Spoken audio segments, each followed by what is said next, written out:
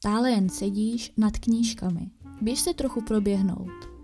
Nabádala Pavlíka jeho maminka. Bylo krásné sluneční odpoledne a tak Pavel souhlasil. Běhat se mu ale nechtělo. Raději si vzal do baťušku svou oblíbenou knihu a vyrazil přes louku k nedalekému lesu.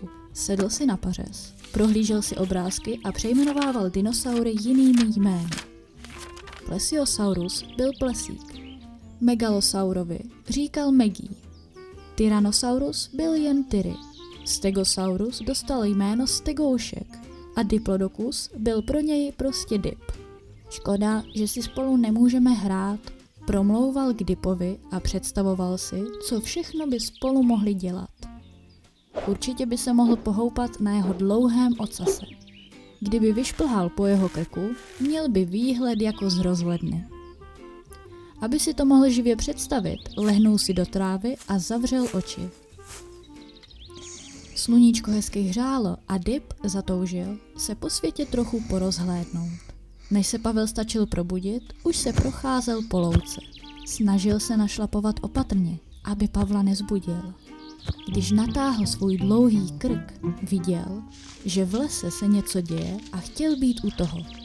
Veverky, zajíci, lišky, jezevci, srnky a další zvířátka se sešla na mítině uprostřed lesa. Svolala je liška Rézinka, protože dostala nápad. Milí přátelé, co kdybychom uspořádali první lesní sportovní hry? Zeptala se. Zvířátka se zaradovala. Jasně, aspoň bude konečně pořádná zábava. Odpověděla za všechny veverka Věrka. Mohli bychom třeba cvrnkat kuličky. Navrhl zajíc a ukázal ostatním pytlík s barevnými kuličkami. Jenže na to potřebujeme místo, s důlkem uprostřed. A kde takové místo najdeme? Chtěla vědět Liška. V tu samou chvíli se na palouk snesl stín, když zvířátka zvedla hlavu, uviděla dinosaura. Dobrý den, Vespolek. Pozdravil dinosaurus a usmál se. To zvířátka uklidnilo. V místě, kde Dip stál, zůstala prohlubeň.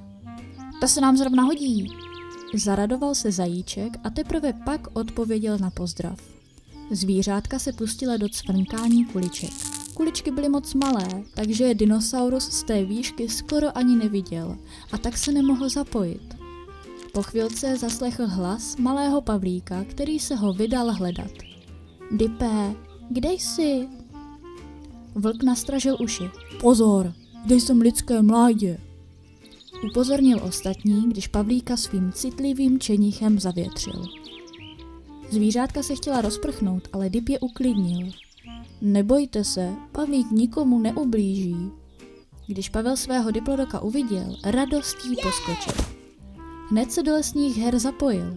Spolu s Dipem házeli na cíl koulemi ze zmačkaného lopuchového listu. Dip odpaloval svým ocasem ořechy, které mu nadhazovaly veverky. Dip byl užitečný hlavně, když z větví vysvobozoval mechové koule, které tam odhodil medvěd. Neodhadl svou sílu a příliš moc se rozpřáhnul. Odpoledne uteklo jako voda a byl čas vrátit se domů. Pavlík si dělal starosti, jak doma vysvětlí, že jeho kamarád z obrázku ožil a vede si ho domů.